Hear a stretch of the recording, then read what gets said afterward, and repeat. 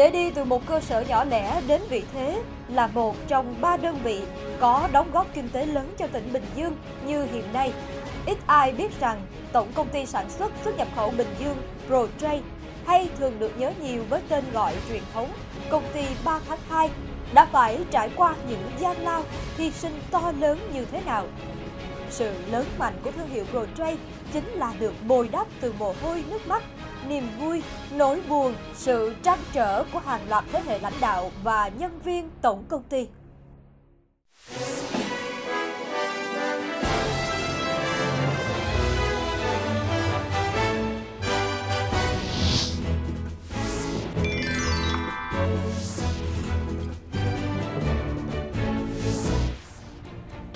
Nhà triết học lừng danh thế giới Karl Marx có câu nói rằng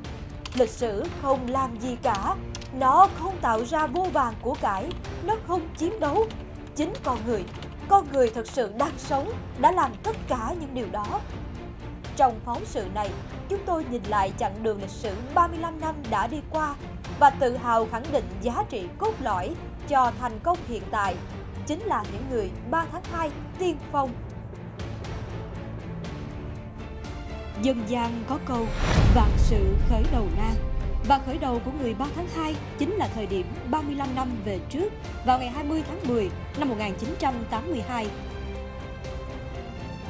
Tại vùng đất xưa là tỉnh sông Bé, nay là tỉnh Bình Dương.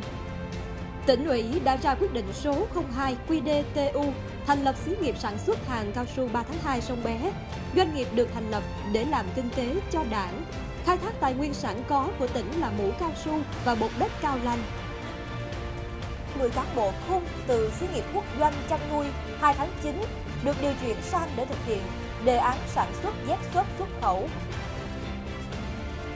15.000 m2 đất nhà xưởng, một dãy nhà cấp 4 đã xuống cấp và có cây hoang dài.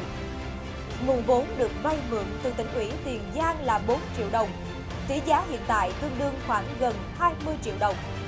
Lực lượng lao động gồm 82 người Hoa có tay nghề ở chợ lớn. Tất cả là tiền đề để xây dựng và phát triển xí nghiệp sản xuất hàng cao su 3 tháng 2.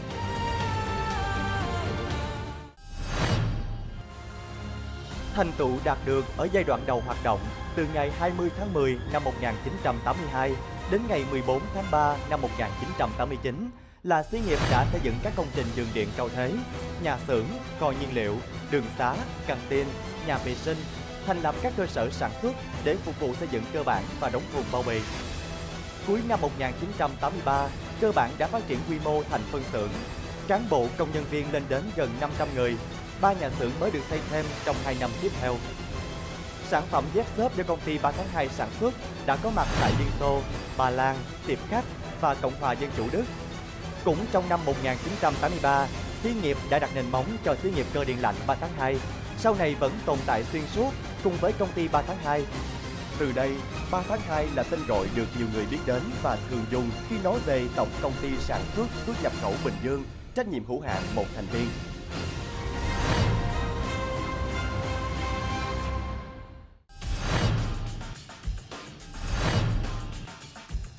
Trước tình hình chính trị và kinh tế thế giới nhiều xáo trộn,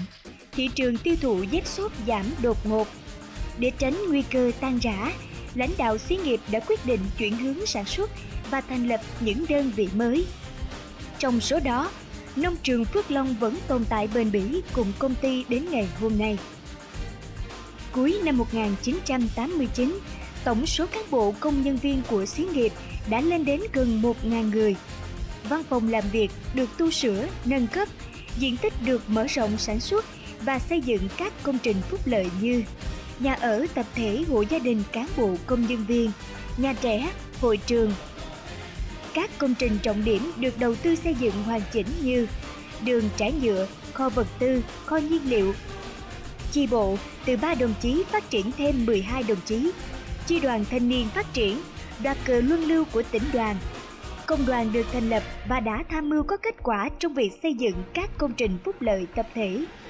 cán bộ công nhân viên được đưa đi du lịch ở Nha Trang, một địa điểm du lịch lần đầu tiên được đặt chân đến đối với hầu hết cán bộ nhân viên của xí nghiệp ở thời điểm đó.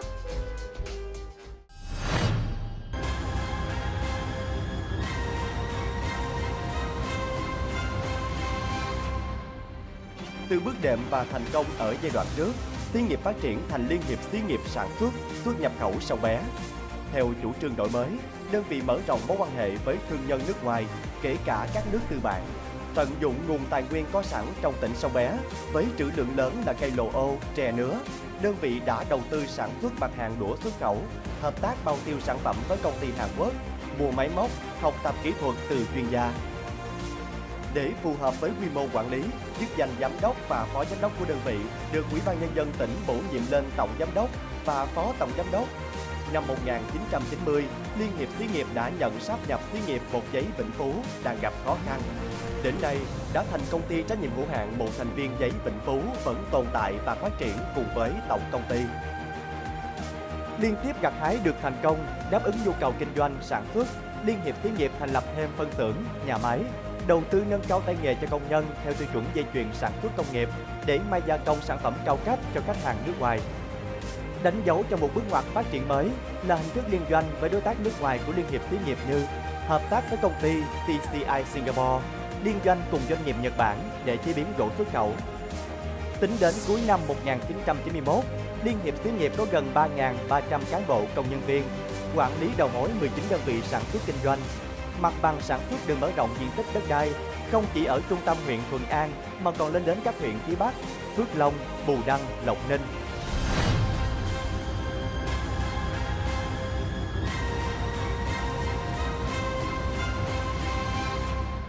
Từ năm 1992 trở đi, công ty liên tục trải qua nhiều sự vận động và thay đổi về chức năng kinh doanh, sản xuất để đáp ứng cho nhu cầu kinh doanh, sản xuất luôn biến đổi. Cơ cấu ở các đơn vị trực thuộc có bước phát triển, xưởng và phân xưởng được nâng tầm trở thành xí nghiệp, kiện toàn cơ sở vật chất và nhân sự ở xí nghiệp may, xí nghiệp nước đá và xí nghiệp chế biến lâm sản xuất khẩu. Ghi tên mình vào lịch sử của ProTrade trong xu hướng hợp tác kinh doanh là liên doanh với Singapore, thành lập công ty liên doanh Sân Quân Palm Sông Bé với diện tích trên 100 hecta tại thị trấn Lái Thiêu là sân gôn đầu tiên đưa vào hoạt động sớm nhất của cả nước sau năm 1975. Liên doanh với Hà Lan, thành lập công ty trách nhiệm hữu hạn sữa Việt Nam Promost, nay là công ty Friesland Campina Việt Nam. Hơn một thập kỷ đi qua, những người ba tháng 2 ngày ấy với nhiệt huyết khát khao cống hiến đã xây dựng nên một cơ sở vững mạnh khi trực tiếp quản lý hơn 4.500 cán bộ công nhân viên. Hệ thống có 11 đơn vị sản xuất kinh doanh trực thuộc và 3 công ty liên doanh với nước ngoài. Cái tư tưởng mà trải chiếu hoa để mời gọi nhà đầu tư, trải thảm đỏ để mời gọi dân tài, đó là tư tưởng chung của lãnh đạo sông bé lúc bấy giờ là vì sông bé còn nghèo. Muốn đi lên á, thì phải bằng cái đôi chân của mình bằng tài nguyên bằng con người của sông bé. Nhưng mà phải kêu gọi cái sự đóng góp cái sự hỗ trợ cái sự hợp tác trong nước và ngoài nước nữa. Đặc biệt là về khoa học kỹ thuật về vốn liếng thì mới có thể mới phát triển được. Cho nên cái tư tưởng này đó nó nó rộng mở và nó tạo những cái điều kiện thuận lợi nhất để mà mời gọi những nhà đầu tư những cái người có tài để mà về xây dựng sông bé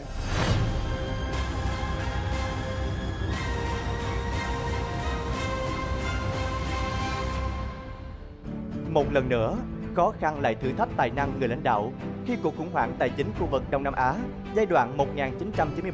1997-1998 lan ra các nước lân cận, làm cho các đối tác của công ty lúc bấy giờ đang chuẩn bị hợp tác thực hiện các dự án lớn như kính xây dựng Asahi của Nhật Bản, sứ vệ sinh Karat của Thái Lan bắt buộc phải ngưng lại. Nguồn tiêu thụ đũa tre xuất khẩu ở thị trường Đài Loan chỉ cầm chừng, sản phẩm may mặc xuất khẩu sang Hàn Quốc, Nhật Bản giảm sút nghiêm trọng. Tuy vậy, năm 2000, công ty đã đầu tư mua trên 50% cổ phần của công ty cổ phần thương mại tổng hợp Thuận An để mở rộng phạm vi kinh doanh. Với tinh thần dám nghĩ, dám làm, dám chịu trách nhiệm, ban lãnh đạo công ty đã tiến hành giải thể các xí nghiệp, nhà máy lạc hậu, chuyển hướng sản xuất và tập trung vào mũi nhọn sản xuất hàng xuất khẩu chiến lược. Trải chiếu hoa mời gọi đầu tư, trải thảm đỏ mời gọi nhân tài là chính sách được công ty áp dụng theo chủ trương của tỉnh nhà từ đó giúp kích thích sản xuất, trẻ hóa đội ngũ để từ chỗ sản xuất gia công chuyển sang sản xuất hoàn chỉnh sản phẩm, không phải thuê mướn chuyên gia nước ngoài.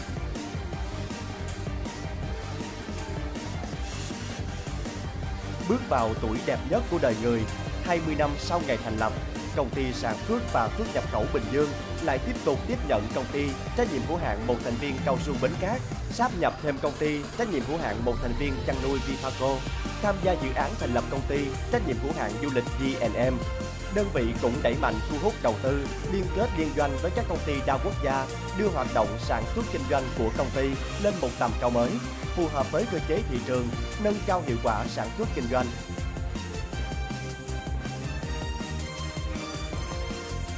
Một năm sau đó, công ty trách nhiệm hữu hạn Apparel Manufacturing được thành lập ở tỉnh Kampong Vương quốc Campuchia, đánh dấu một bước phát triển mới của công ty. Lần đầu tiên, công ty đã mở rộng phạm vi đầu tư, xây dựng đơn vị kinh doanh, sản xuất, đặt trụ sở ở nước ngoài. Tiếp đà phát triển, năm 2006, công ty mở rộng phạm vi đầu tư sang Lào với việc thành lập công ty cổ phần cao su dầu tiếng Việt Lào. Liên kết với đối tác nước ngoài, thành lập công ty cổ phần phát triển Phú Mỹ. Để mở rộng ngành nghề, công ty tiếp tục thành lập công ty cổ phần Bệnh viện Đa khoa Hạnh phúc Quốc tế, công ty cổ phần dịch vụ và công nghiệp Bình Dương. Kết quả của tất cả những điều này là chất lượng sản xuất kinh doanh và đầu tư năm sau cao hơn năm trước, đời sống người lao động ngày càng ổn định, phúc lợi xã hội luôn được đảm bảo và được hưởng thêm những phúc lợi do đơn vị đài thọ như xe đưa đón đi làm việc hàng ngày, xe đưa rước về quê ăn Tết, nhà ăn, nhà ở tập thể sạch sẽ, khang trang. Nhận ra rằng, vượt qua khó khăn là điều tất yếu để sống còn, đương đầu với thử thách lớn là cuộc khủng hoảng tài chính toàn cầu 2007-2008, hàng ngàn doanh nghiệp trong nước bị xóa sổ. Ban lãnh đạo công ty đưa ra phương hướng dựa vào sản xuất kinh doanh làm căn cơ, dựa vào con người làm nội lực và lấy đầu tư làm mũi nhọn, lấy ngắn nuôi dài, lấy uy tín, chất lượng làm trọng đi tắt đón đầu và đổi mới suy nghĩ, cách làm cho phù hợp với tình thế. Cho đến năm 2007, số lượng doanh nghiệp liên kết với công ty gia tăng thêm gồm Công ty cổ phần đầu tư và phát triển Tân Thành, Công ty trách nhiệm hữu hạn Ascendat Project, Công ty trách nhiệm hữu hạn YCS Project. Thì à, lúc bây giờ tôi làm chủ tịch đó, của tỉnh Sông Bé, rồi sau này tỉnh Bình Dương đó, thì tôi thấy cái công ty 3 tháng 2 này là nó có mấy cái đặc điểm như thế này. Một là nói về cái cơ chế chính sách của thời kỳ bây giờ đó rất là khó khăn trung ương thì không có phân cấp như cái thời kỳ bây giờ. Muốn xin một cái dự án mà làm là phải tranh thủ tối đa các cái bộ ngành ở trung ương. Cái khó khăn nữa là gì? Là vấn đề vốn liếng. Ngân sách lúc bây giờ là cũng rất hạn hẹp. Thì quỹ ban tỉnh ờ, trong thời kỳ sông bé này giải quyết đối với 3 tháng 2 này rất là có lý có tình. Ờ, mọi cách để cho nó vượt qua những cái, cái khó khăn cái thách thức.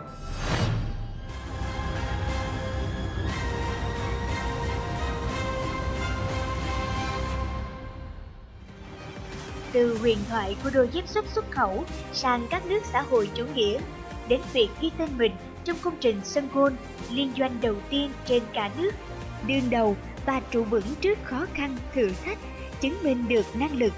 Công ty đã được tỉnh ủy và Ủy ban Nhân dân tỉnh quyết định chuyển thành tổng công ty, một trong ba đơn vị kinh tế lớn của tỉnh Bình Dương và sắp nhập thêm một số doanh nghiệp có vốn ngân sách đảng. Thành lập công ty trách nhiệm hữu hạn đầu tư Tân Phú vào năm 2010, mua cổ phần công ty cổ phần đầu tư xây dựng 3 tháng 2 vào tháng 12 năm 2011 dấu mốc ấn tượng nhất của người 3 tháng 2 là việc mua lại 70% vốn nước ngoài, biến Sun Quân Palm trở thành đơn vị kinh doanh 100% vốn nhà nước với tên gọi công ty trách nhiệm hữu hạn Sun Quân Palm Sông Bé. Theo sự vận động không ngừng của nền kinh tế và sự chỉ đạo của Ủy ban Nhân dân tỉnh Bình Dương, trong tương lai, Tổng Công ty Sản xuất xuất nhập khẩu Bình Dương sẽ chuyển công ty trách nhiệm hữu hạn một thành viên dịch vụ công nghiệp và thuốc lá Bình Dương công ty trách nhiệm hữu hạn một thành viên chăn nuôi Vifaco, công ty trách nhiệm hữu hạn một thành viên cao su Bến Cát và nông trường Phước Long sang công ty trách nhiệm hữu hạn một thành viên đầu tư và quản lý dự án Bình Dương. Đây là một đơn vị do tổng công ty thành lập và chuyển giao tỉnh ủy quản lý vào tháng 10 năm 2016. Để tiếp tục phát triển và thực hiện chủ trương của chính phủ, tổng công ty sẽ tiến tới tái cơ cấu và thực hiện lộ trình cổ phần hóa, bao gồm văn phòng tổng công ty và 4 đơn vị 100% vốn nhà nước là công ty trách nhiệm hữu hạn Sân Quân Palm Sông Bé, công ty trách nhiệm hữu hạn một thành viên giấy Vĩnh Phú, công ty April Manufacturing Co Ltd và xí nghiệp cơ điện lạnh 3 tháng 2. Phần trăm vốn nhà nước của tổng công ty sản xuất xuất nhập khẩu Bình Dương trong 14 công ty cổ phần liên doanh cũng được tính trong giá trị cổ phần hóa. Song song đó, đơn vị đã mua lại 70% vốn nước ngoài của công ty trách nhiệm hữu hạn Extended Project và cũng cổ phần hóa theo lộ trình. Dự kiến đến đầu năm 2017, tổng công ty sẽ hoàn tất lộ trình tái cơ cấu và cổ phần hóa. Tổng công ty sẽ uh, chuyển đổi mô hình uh, trở thành công ty cổ phần và trong quá trình tái cơ cấu uh, hoạt động của tổng công ty thì chúng tôi tin tưởng rằng với cái điều kiện về à, trình độ của năng lực của đội ngũ cán bộ quản lý thứ hai là à, về điều kiện à, cơ sở à, vật chất cũng như là các cái à, lợi thế ờ, của tổng công ty trong thời gian qua thì ờ, giai đoạn sắp tới thì ờ, trong cái quá trình tái cơ cấu cũng như là thực hiện cái chuyển đổi mô hình hoạt động thì tổng công ty sẽ đạt được cái kết quả tốt và sẽ tiếp tục thành công để xứng đáng với cái danh hiệu là đơn vị anh hùng lao động.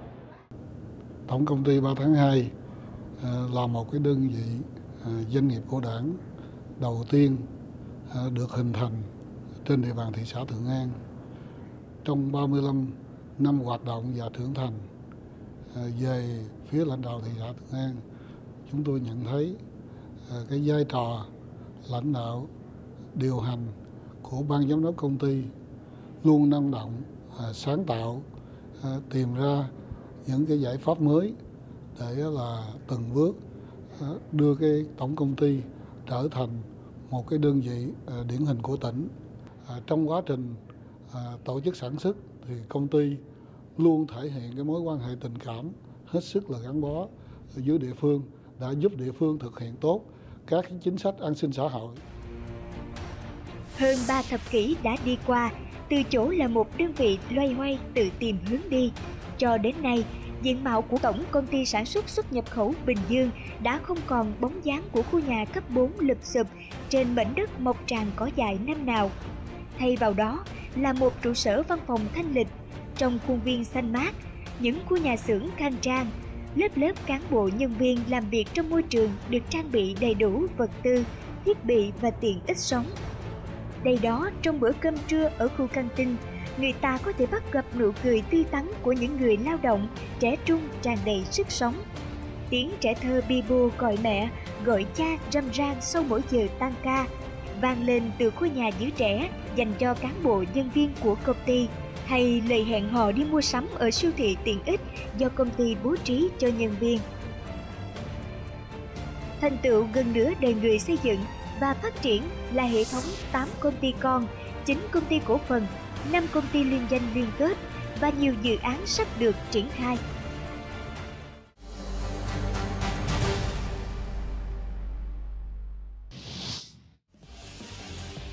Công ty cổ phần may mặc Bình Dương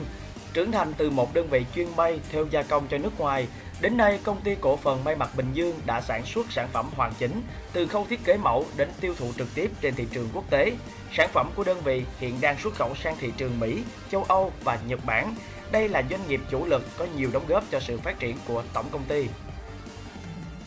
Đạt được thành công ngày hôm nay thì ngoài sự nỗ lực lao động của tập thể người lao động của công ty Mai một nhân tố quan trọng đóng góp vào sự thành công đó đó là sự lãnh đạo, hết sức gắn bó của ban lãnh đạo tổng công ty đối với công ty Mai đó là những chiến lược đào tạo, phát huy và sử dụng con người của tổng công ty đối với à, công ty Mai cũng như là những định hướng kinh doanh trong suốt thời gian qua, những định hướng đúng đắn mà giúp cho chúng tôi phát triển liên tục. Công ty cổ phần Hưng Vượng với tổng số 1.000 lao động chuyên sản xuất kinh doanh gỗ chế biến gia dụng xuất khẩu với hệ thống quản lý chất lượng theo chuẩn ISO 9001-2000, sản lượng xuất khẩu bình quân khoảng 2.200 container, tổng doanh thu bình quân khoảng 23 triệu USD trên năm.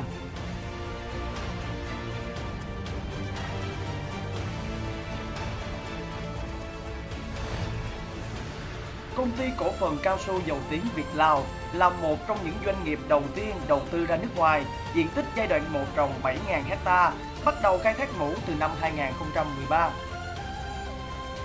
Công ty cổ phần Bệnh viện Quốc tế Hạnh Phúc với tổng giá trị đầu tư trên 1.000 tỷ đồng, quy mô 260 giường bệnh. Đây là bệnh viện đầu tiên tại Việt Nam hoạt động theo chuẩn Singapore với cơ sở vật chất, trang thiết bị hiện đại, đội ngũ bác sĩ có nhiều kiến thức chuyên sâu, cung cấp dịch vụ y tế chất lượng cao đã và đang là sự lựa chọn hàng đầu cho phụ nữ và trẻ em tỉnh Bình Dương cùng nhiều tỉnh thành khác trên cả nước.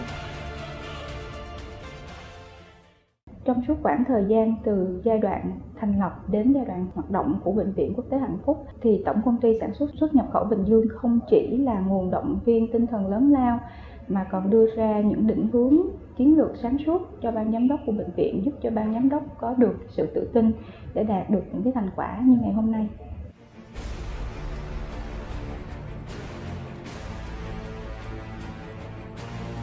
Công ty cổ phần phát triển Phú Mỹ, tổng vốn đầu tư 85 triệu USD, liên danh với hai đối tác Hàn Quốc là SYS Holding Corp và SYS Retail Corp, đầu tư và phát triển dự án Theodon Golf Loop and Resort với khu phức hợp Saigon 27 lỗ đạt tiêu chuẩn quốc tế, khu căn hộ nhà ở cao cấp, khách sạn đạt tiêu chuẩn 4 năm sao, trung tâm hội nghị và triển lãm, trường tiểu học và trung học quốc tế. Dự án đang xây dựng, công ty cổ phần đầu tư và phát triển Tân Thành xây dựng kinh doanh ngành thể thao giải trí với sân golf 18 lỗ và nhà câu lạc bộ theo chuẩn quốc tế.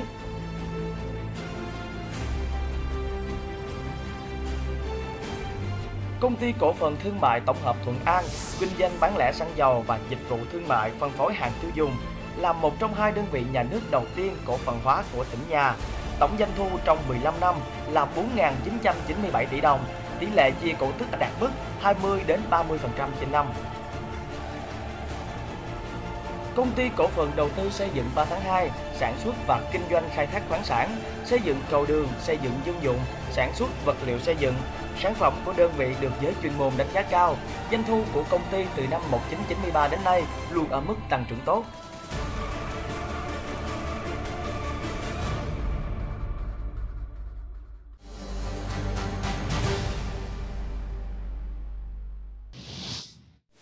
Công ty trách nhiệm hữu hạn Frisland Campina Việt Nam liên doanh với Hà Lan sản xuất các loại sữa để cung ứng cho thị trường Việt Nam. Sở hữu nhà máy hiện đại với dây chuyền sản xuất tự động, công suất 200 triệu kg sữa mỗi năm. Là một trong số những đối tác lớn, hiệu quả và thành công nhất của tổng công ty.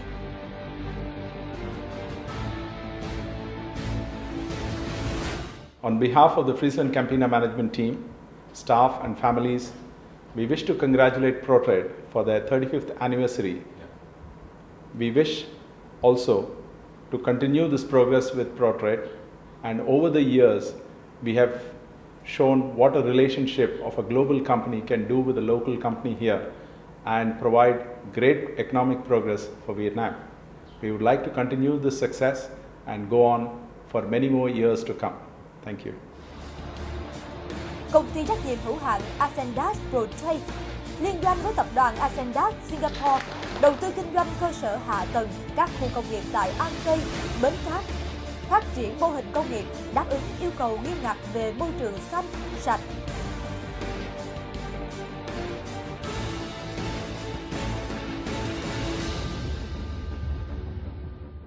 Qua những thành tựu đã đạt được đến ngày hôm nay thì ờ, nhân dịp ờ, 35 năm thành lập của tổng công ty, công ty thành viên cam kết đồng hành cùng tổng công ty tiếp tục gặt hái thêm những thành công tốt đẹp hơn trong thời gian đến. Công ty YCH Project liên doanh với tập đoàn YCH Singapore đầu tư xây dựng kinh doanh ngành kho vận. YCH Project đã và đang thực hiện có hiệu quả việc kinh doanh sản xuất với quy mô trên 500 lao động. Tổng doanh thu trong 2 năm 2014 và 2015 là 608 tỷ đồng. Thay mặt công ty ICH ProTrade là một đơn vị thành viên của tổng công ty, tôi tự hào một trong những công ty trong tập đoàn. Đoạn phim ghi lại hình ảnh 35 năm của công ty chỉ là dịp để chúng ta nhìn lại chặng đường đã đi qua. Tuy nhiên, tôi nghĩ đoạn phim sâu sắc và xúc động nhất nằm trong tâm trí của từng thành viên một trong tổng công ty. Những người từ những ngày đầu gây dựng, truyền lửa, giữ lửa cho tổng công ty cho đến ngày hôm nay.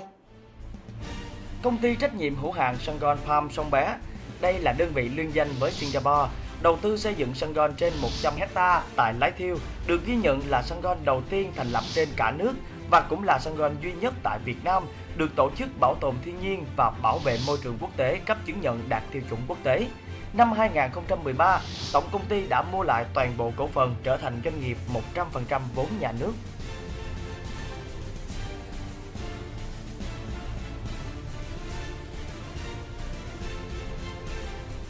Công ty trách nhiệm hữu hạn một thành viên dịch vụ công nghiệp và thuốc lá Bình Dương khởi điểm là một doanh nghiệp nhỏ với số vốn ban đầu là 5 tỷ đồng. Sau 18 năm bằng sự nỗ lực, sáng tạo, công ty phát triển ổn định, lợi nhuận tăng đều hàng năm. Hiện nay, đơn vị có 15 chủng loại thuốc lá tiêu thụ nội địa, 5 chủng loại xuất khẩu. Ngoài ra, công ty còn mở rộng hoạt động ở lĩnh vực nước uống và in ấn bao bì.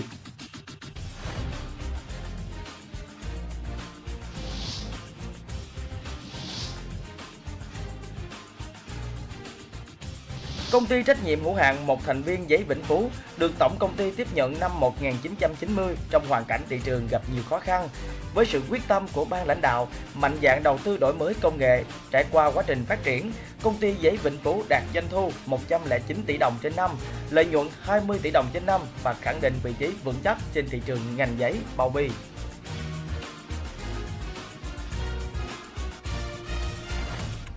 Công ty trách nhiệm hữu hạn một thành viên chăn nuôi Vifaco được tổng công ty tiếp nhận từ năm 2005, chuyên sản xuất và kinh doanh heo giống. Hiện nay, công ty đang thực hiện lộ trình tái cơ cấu theo chỉ đạo. Địa điểm chăn nuôi và chế biến thực phẩm sẽ được dời chuyển ra khỏi khu dân cư, quy mô hoạt động được mở rộng và nâng lên thành công nghệ cao.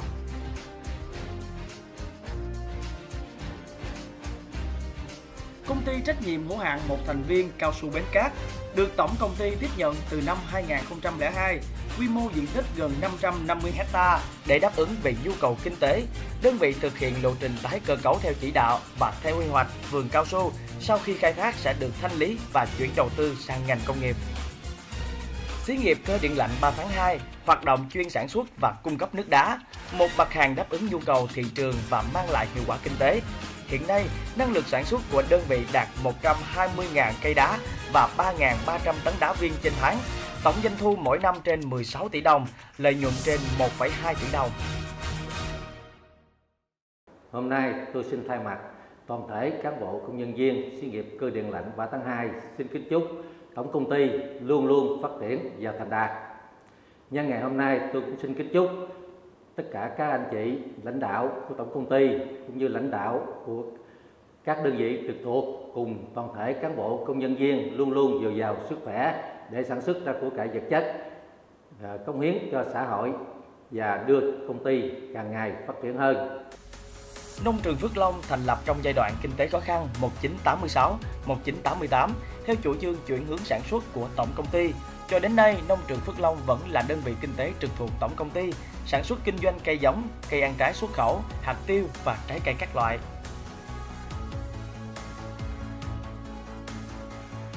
Bình Dương hôm nay năng động, văn minh, hiện đại, sức sống mãnh liệt, sức bật của một thành phố trẻ. Những thành tựu đó có phần đóng góp không nhỏ của Tổng công ty sản xuất xuất nhập khẩu Bình Dương, một trong ba đơn vị kinh tế lớn của tỉnh nhà. Là một doanh nghiệp của đảng, nhà nước, trong suốt quá trình hoạt động, đơn vị ý thức được trách nhiệm xây dựng và phát triển của tổ chức đảng, đoàn thể trong tập thể cán bộ công nhân viên số chi bộ trực thuộc, số lượng đảng viên ngày càng gia tăng. Đơn vị luôn dẫn đầu trong việc giao nộp ngân sách cho tỉnh nhà. Thời gian qua, tổng công ty đã xây dựng trên 100 nhà tình nghĩa, nhà tình thương, nhà đại đoàn kết, nhận nuôi dưỡng 16 bà mẹ Việt Nam anh hùng, hưởng ứng tất cả các quỹ phúc lợi do tỉnh phát động, các chương trình học bổng, tài trợ, ủng hộ thiên tai bão lụt, chiến sĩ hải đảo, gia đình chính sách, người hưu trí,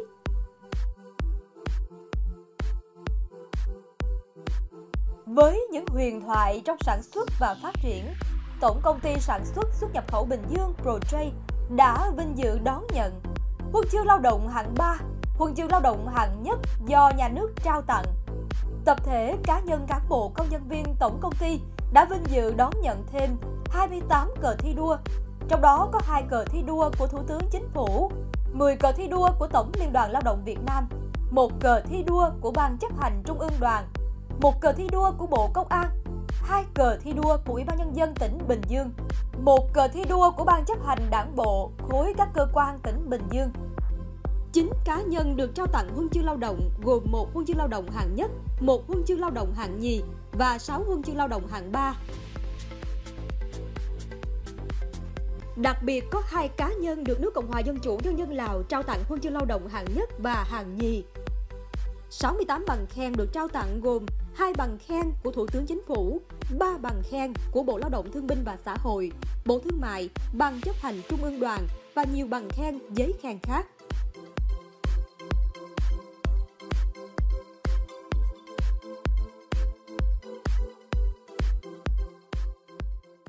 Tổng công ty cũng có nhiều khó khăn. Nhưng cứ mỗi lần khó khăn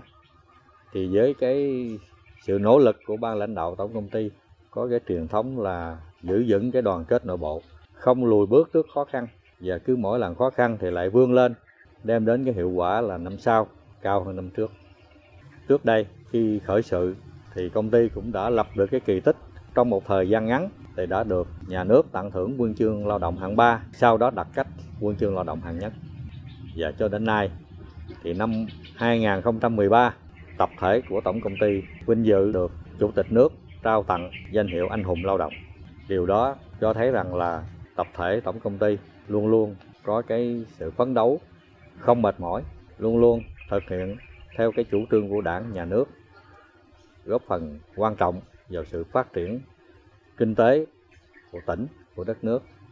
là lớp người đi trước. Tôi rất tin tưởng vào cái đội ngũ lãnh đạo hôm nay và trong cái bước chuyển mình này chắc chắn sẽ đáp ứng được cái yêu cầu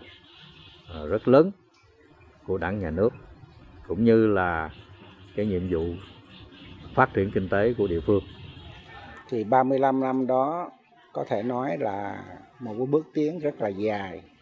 và cũng là một cái điều chứng tỏ cái sự đoàn kết gắn bó của cái tập thể 3 tháng 2 trong những ngày đầu cho đến hôm nay. Thì cái những bước phát triển được mà lớn mạnh như ngày hôm nay thì tôi cho đó là cái yếu tố thành công nhất là cái sự đoàn kết. Và để nhắn nhủ lại với các thế hệ mới sau này sẽ lãnh đạo tổng công ty, thì tôi chỉ muốn một điều là tất cả nên giữ vững cái tinh thần 3 tháng 2 cũ và phát triển nó thành ra một cái tập thể vững mạnh hơn và đoàn kết hơn và phát triển hơn. Kiên định với mục tiêu, nếu một con tàu lớn muốn vươn ra xa, nhất định cần đến những con người giỏi. Đây cũng là lý do mà trong tầm nhìn phát triển của tổng công ty, ban lãnh đạo luôn chú trọng đến việc đề ra kế hoạch phát triển con người bằng nhiều hình thức như cử cán bộ giỏi đi tu nghiệp tại nước ngoài, thuê chuyên gia hàng đầu trong giới về đào tạo cán bộ công nhân viên. Người ba tháng 2 xưa với quyết tâm và ý chí đã tạo dựng được một thương hiệu có sức định vị mạnh mẽ trong lòng công chúng, thì người ba tháng 2 hôm nay sẽ là những cá nhân có năng lực chuẩn quốc tế, sẵn sàng thích nghi và đáp ứng mọi yêu cầu của thị trường lao động xứng đáng là lớp người kế cận để đưa tổng công ty vươn tầm cao mới. Thì ờ, trong thời gian tới thì cũng như tôi chia sẻ là công ty sẽ cũng được cổ phần hóa thì cái lực lượng đội ngũ trẻ sẽ được các ờ, cổ đông là tuyển dụng và sử dụng để tiếp tục để làm ờ, đưa công ty là phát triển vững mạnh hơn thì chúng tôi sẽ là tiếp tục những cái ngành hàng đang phát triển của công ty để đẩy mạnh sản xuất đầu tư về máy móc thiết bị công nghệ đẩy mạnh cái năng lực cạnh tranh bằng cách là ừ, nâng cao về cái trình độ công nghệ hơn nữa. Tại vì hiện nay thì về cái lực lượng lao động của trên thị trường ừ, lao động của Bình Dương hiện nay là bắt đầu cạnh tranh quyết liệt hơn. Đó, thì ờ, như vậy cái ưu thế về lao động là nó giảm so với nhiều năm trước đây. Thì bắt buộc chúng tôi là phải phải cải tiến về năng suất, về công nghệ hơn nữa đó là cái hướng mà sắp tới của công ty, cũng như là công ty sẽ tìm các cái đối tác tốt từ nước ngoài để nhận được cái sự ờ, hỗ trợ cũng như là góp sức của công ty của nước ngoài mà có năng lực về quản lý, về công nghệ, thì họ sẽ, tôi nghĩ là sẽ đưa công ty lên phát triển rất là mạnh. Lễ kỷ niệm 35 năm thành lập tổng công ty à, đánh dấu một cái bước ngoặt lịch sử à, cho cái sự phát triển vượt bậc của tổng công ty từ năm 1982 cho đến nay. Đồng thời cũng đánh dấu một sự chuyển giao giữa các thế hệ đi trước, à, các chú, các anh chuyển giao lại cho thế hệ đàn em. Thì à, tổng công ty đang trong quá trình cổ phần hóa và tôi tin tưởng rằng sau khi cổ phần hóa, tổng công ty sẽ phát triển hơn nữa, phát triển nhanh, mạnh, bền vững và ổn định. Nhân đây cũng xin cảm ơn sự tin tưởng của các chú, các anh đã để lại một cái di sản vô cùng to lớn cho thế hệ đi sau và chúng tôi xin hứa sẽ nỗ lực hết sức mình để à, xứng đáng với sự tin tưởng của các chú, các anh và đưa công ty ngày càng phát triển và hội nhập vào thế giới. Xin mượn ý trong lời phát biểu của đại diện một đơn vị thành viên tổng công ty là Chúng ta đang xây dựng cuốn phim 35 năm về lịch sử của đơn vị là một chặng đường nhìn lại nhưng có lẽ cuốn phim sống động và ý nghĩa nhất luôn nằm trong tâm tưởng của những người đi trước, những người đã đặt nền móng, gây dựng và truyền lửa để có được một thương hiệu vững mạnh như ngày hôm nay. Rất đổi tự hào sau 35 năm nhìn lại, vất vả, gian lao nhưng vô cùng hãnh diện bởi lẽ truyền thống tốt đẹp về sự đoàn kết, dám nghĩ, dám làm đã được phát huy và duy trì cho thế hệ mai sau. Quá khứ đã đi qua là một khối tài sản lớn, là những bài học vô giá. Thời gian luôn là người thầy công bằng và minh bạch nhất. Lịch sử không lặp lại, nhưng những người 3 tháng 2 ngày ấy đã làm nên lịch sử cho một thương hiệu định vị vững chắc ở phạm vi trong nước lẫn quốc tế.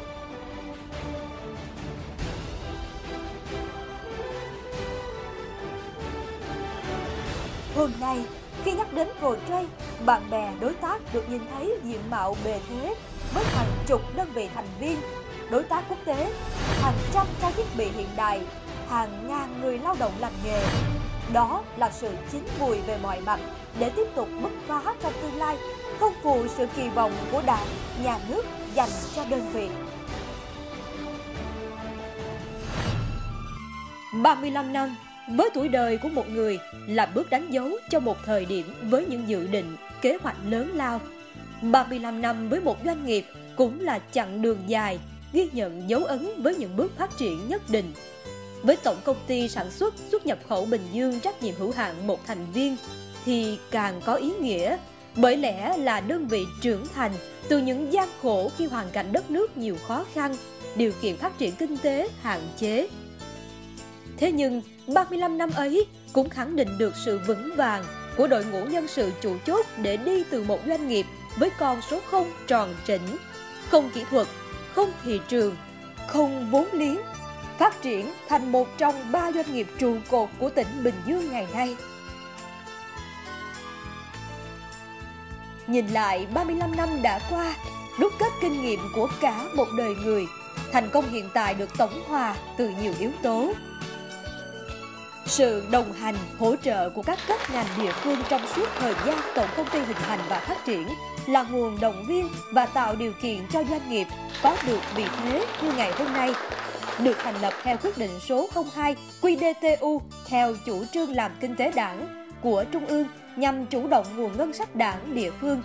Tỉnh ủy, Ủy ban Nhân dân tỉnh Bình Dương, Văn phòng tỉnh ủy và địa phương, Ủy ban Nhân dân thị xã Thuận An luôn là chỗ dựa vững chắc là cái nôi cho xí nghiệp 3 tháng 2 lớn lên và trưởng thành, trở thành đơn vị anh hùng lao động với tên gọi hiện nay là Tổng Công ty Sản xuất xuất nhập khẩu Bình Dương trách nhiệm hữu hạn một thành viên. Bên cạnh đó, những chủ trương đường hướng đúng đắn, kịp thời trong từng thời kỳ kinh tế là định hướng để tổng công ty đổi mới và ngày càng hiện thực hóa đường đi của một đơn vị kinh tế đảng. Tin tưởng rằng với sự gắn kết và lãnh đạo sâu sát, trong thời gian tới, tổng công ty sẽ còn phát triển mạnh mẽ hơn nữa. Để tạo điều kiện à, cho công ty à, tiếp tục phát triển về phía lãnh đạo địa phương, thì chúng tôi sẽ luôn đồng hành với công ty. Đồng thời về phía trách nhiệm lãnh đạo của mình, chúng tôi sẽ à, chỉ đạo các cấp các ngành thường xuyên quan tâm, theo dõi, giúp đỡ cũng như kịp thời giải quyết những khó khăn vướng mắt khi công ty kiến nghị đề xuất để đảm bảo cho cái quá trình phát triển à, của công ty được suôn sẻ và đạt được cái kết quả cao nhất.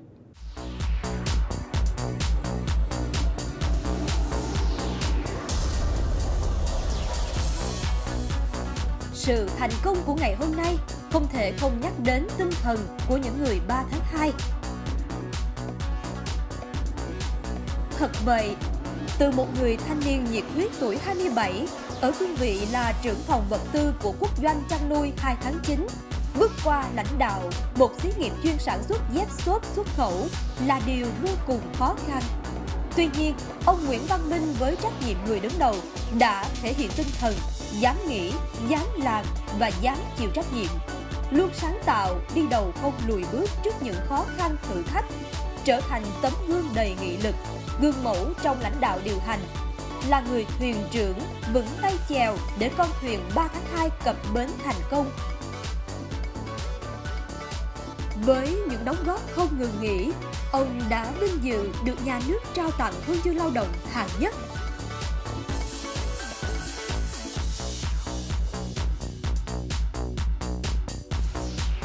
Đến với tổng công ty ngày nay, chúng ta vẫn bắt gặp hình ảnh một người đàn ông mái tóc hoa râm quen thuộc vẫn còn làm việc. Đó là ông Trần Văn Quen, là một trong 10 cán bộ khung của quốc doanh chăn nuôi 2 tháng 9, được bổ nhiệm làm phó giám đốc xí nghiệp sản xuất hàng cao su 3 tháng 2 sông Bé lúc mới thành lập. Người đồng hành với ông Nguyễn Văn Minh, lãnh đạo xuyên suốt 3 tháng 2 trên 35 năm qua. Ở tuổi 62, ông vẫn chung sức với cương vị cố vấn cho ban lãnh đạo tổng công ty. 35 năm qua, ông đã phát triển tổ chức đảng từ một chi bộ cơ sở có 3 đảng viên lên thành đảng bộ với gần 200 đảng viên sinh hoạt ở 9 chi bộ. Huân chương lao động hạng nhì do Chủ tịch nước trao tặng chính là ghi nhận cho những nỗ lực của một cán bộ luôn gần gũi là trung tâm đoàn kết và đã hết lòng vì sự nghiệp của tổng công ty.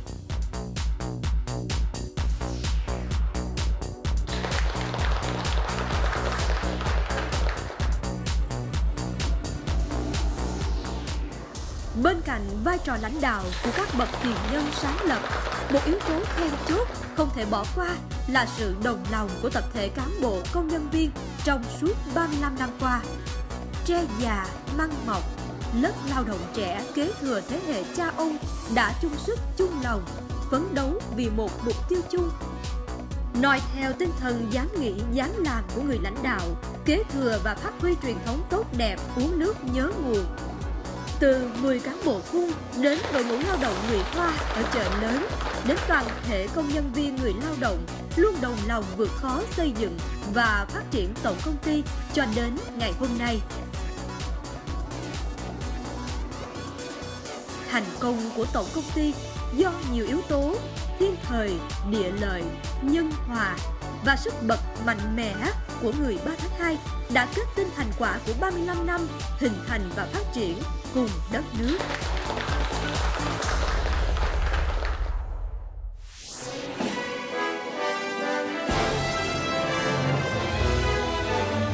Tổng công ty sản xuất xuất nhập khẩu Bình Dương trách nhiệm hữu hạn một thành viên